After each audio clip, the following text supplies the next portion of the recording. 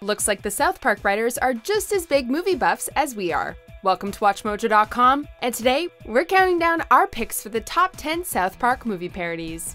Before we begin, we publish new content every day, so be sure to subscribe to our channel and ring the bell to get notified about our latest videos. For this list, we're looking at our favorite episodes in South Park that parody our favorite films. Number 10, World War Zimmerman, World War Z. In a shocking turn of events, the jury has found Zimmerman not guilty! Only Cartman would dream of a situation in the ridiculous style of World War Z. While in class, Cartman has dreams where the verdict of the George Zimmerman trial has caused African Americans to begin a massive riot. Oh, and did we mention everyone is voiced by Cartman? How did I get such a perfect husband? How did I get such a beautiful wife? The episode ridicules some absurd moments from the Brad Pitt film, such as the light-hearted family moments and the airplane scene. However, the episode becomes more than just a parody, providing commentary on racism and self-defense laws, as well as the Trayvon Martin case. Take this plane back to Denver! You don't understand! There's no Denver left to go back to! Number 9. Major Boobage, Heavy Metal. Well, Kenny, are you buzzed?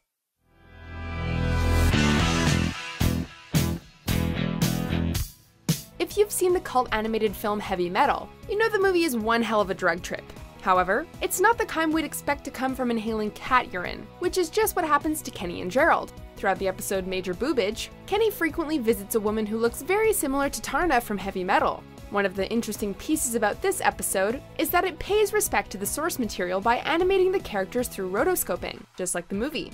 It may be an obscure parody to some viewers, but others will get a kick at the playful jabs towards heavy metal's sexual content. You're too young for this stuff! Number 8. HumancentiPad, the Human Centipede franchise. Hello, Kyle, we're from Apple. We're all ready for you now. What? Ready for what? To fulfill the agreement. Just when we think there's a franchise even South Park wouldn't make fun of, creators Trey Parker and Matt Stone prove us wrong.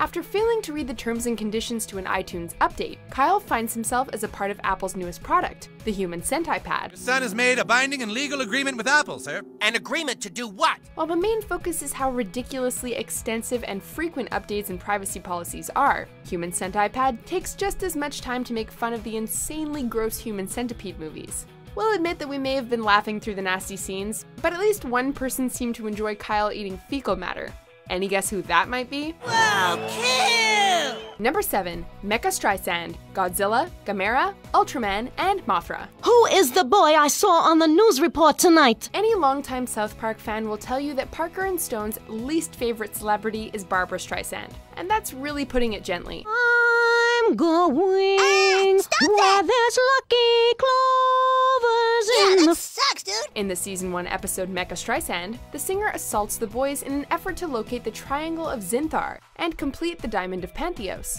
Upon completing the relic, she begins destroying the town as Mecha Streisand. Mega Babura Streisanda! Seeing this Godzilla reference is entertaining in every way, but it gets better when Mothra, Gamera, and even Ultraman enter the mix. The show's creators sure do love their monster movies, huh?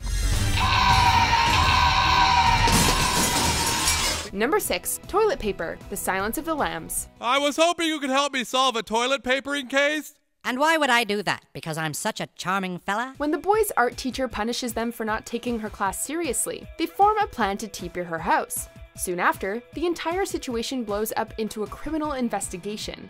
As Kyle fights his guilty conscience and experiences some Godfather Part 2 moments, Officer Barbrady seeks assistance from juvenile delinquent Josh Myers, who seems to be a fan of The Silence of the Lambs. Of course, we quickly find Josh's Hannibal voice to be just an act. Whoa. Uh, oh. Thank you. What makes it so amusing is how this troublesome kid is treated like the most dangerous psychopath. Whatever you do, don't tell him your name or you might end up spilling your darkest secrets. What's the matter, Principal Victoria? Was your mother abusive? Number 5. D-Yikes. 300. This isn't crazy. This is Lesbos! Did anyone else feel 300 was a tad ridiculous with its use of slow motion? Well, Parker and Stone must have, as they spent an entire last half of an episode making fun of it. When Mr. Gar, we mean Miss Garrison, begins hanging out at a lesbian bar, she and the occupants soon find it under threat by Persians. We're going to put down some lovely blue carpet and gold curtain rods. I know it! I know it! The episode quickly turns into a 300 parody in the most absurd ways possible. with slow motion scenes of Garrison brewing coffee and a man getting kicked in the genitals. We're even graced by an appearance by Xerxes, who turns out to be a woman. How?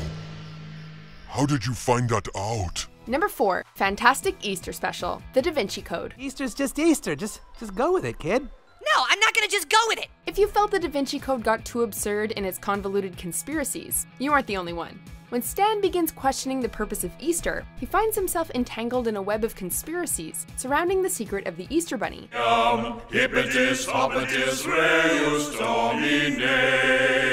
However, Stan quickly learns that everyone is simply reading too much into things. Throughout this parody, South Park points out the contradicting logic and plot points of its source material, with a secret rabbit society and an epic explosion caused by microwaved peeps. Peeps!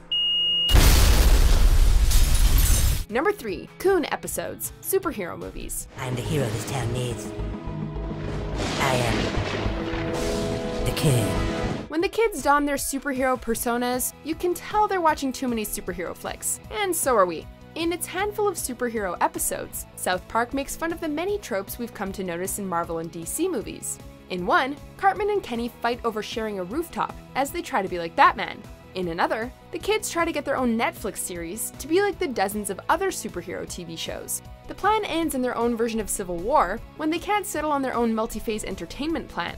You can always count on Matt and Trey to commentate on Marvel and DC's overwhelming success. How come I have to have the video game? I want a movie too. Number 2, Night of the Living Homeless, George A. Romero's zombie movies. Oh, dude, what's with all the homeless people? When homeless people start to crowd the streets of South Park, the problem becomes almost catastrophic.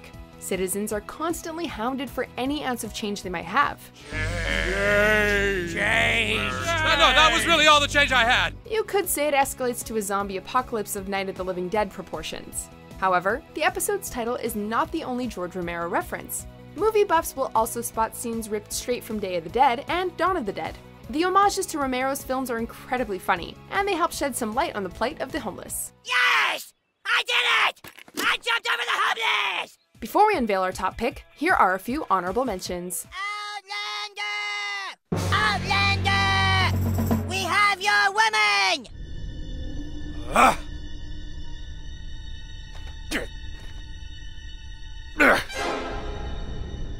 Excuse me, my name is. Ignore. Hey, could you tell me how I. Ignore.